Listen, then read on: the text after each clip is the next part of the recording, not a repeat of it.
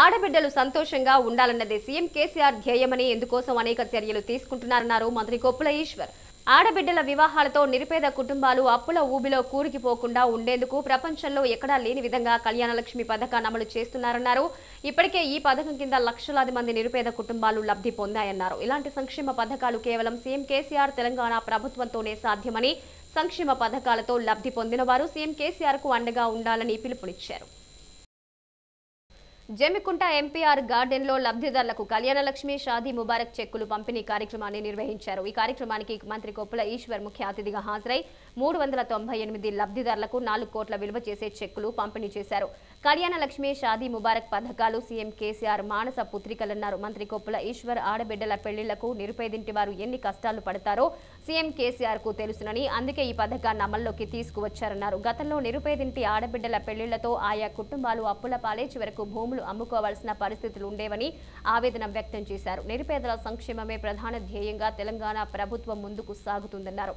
కరోనాతో యావత్ ప్రపంచమే అల్లాడిపోతుంటే తెలంగాణలో మాత్రం సంక్షేమ పథకాలను పక్కడ్బందీగా అమలు చేస్తున్నారన్నారు. గతంలో ప్రభుత్వాలు వచ్చాయి పోయాయి. ఎంతో మంది సీఎంలు పీఎంలు మారారని కానీ ఒంటరి మహిళల గురించి ఎవరు పట్టించుకున్న పాపాన పోలేదన్నారు. కానీ ఇప్పుడు వారు ఒంటరి మహిళలు కాదంటూ వారికి అండగా అండగా ఉన్నానంటూ నెలకు రెండు వేల పదహారు రూపాయల పెన్షన్ ఇస్తున్న ఘనత సీఎం కేసీఆర్ తినన్నారు పెళ్ళైన తర్వాత మొదటి కాన్పు కోసం తల్లిదండ్రులు ఆసుపత్రిలో వేలకు వేలు ఖర్చు పెట్టకుండా ప్రభుత్వ ఆసుపత్రిలోనే ఉచితంగా కార్పొరేట్కు ధీటుగా కాన్పు చేసి పదమూడు వేల రూపాయల కిట్ అందిస్తున్న ఘనత రాష్ట్ర ముఖ్యమంత్రి కేసీఆర్దే అన్నారు. అలాగే పిల్లల చదువు కోసం గురుకులాలు ఏర్పాటు చేసి ప్రతి విద్యార్థికి సంవత్సరానికి ఒక లక్ష ఇరవై వేలు ఖర్చు చేసి నాణ్యమైన విద్యను అందిస్తున్నామన్నారు. ఇన్ని సంక్షేమ పథకాలు అమలు చేస్తున్న రాష్ట్ర ముఖ్యమంత్రి కేసీఆర్ను మహిళలంతా నిండు నూరేళ్ళు బ్రతకాలని దీవించాలని కోరారు. గతంలో కరెంటు పోతే ఎప్పుడొస్తుందో తెలియని పరిస్థితులు ఉండేవన్నారు.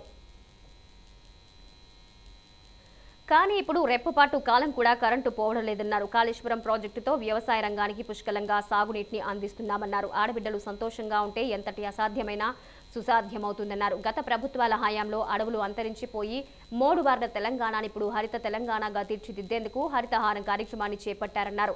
ఈ పవిత్ర యజ్ఞంలో ఆడబిడ్డలు పెద్ద ఎత్తున భాగస్వామ్యులై విరివిగా మొక్కలు నాటడంతో పాటు వాటిని సంరక్షించుకోవాలని పిలుపునిచ్చారు. నేడు మనం నాటిన మొక్కలే రేపటి మహావృక్షాలై భావితరాలకు మంచి జరుగుతుందన్నారు. లేకపోతే పర్యావరణంలో సమతుల్యత లోపించి రాబోయే తరాలకు చెడు చేసిన వారమవుతామన్నారు. మన గౌరవ ముఖ్యమంత్రి గారి యొక్క మానస పుత్రిక. ఇది వట్టిగా రాలే. అనేకమైనటువంటి అనుభవంతో కూడి అనేక సంఘటనల యొక్క మరి ఫలితమే ఈరోజు షాదీ ముబారక్ కళ్యాణ లక్ష్మి చాలా సందర్భాల్లో మన ముఖ్యమంత్రి గారు చెప్తారు ఈ కళ్యాణ లక్ష్మి అనేటువంటి ప్రోగ్రాం ఈ ఆలోచనకి ఎట్లా వచ్చింది అని ఎవరైనా అధికారులు మనల్ని అడిగితే నేను ఎమ్మెల్యేగా ఉన్నప్పటి నుంచే మరి వారు నలభై యాభై సంవత్సరాల ప్రజా జీవితంలో అనేక అనుభవాలు ఉన్నాయి వారికి.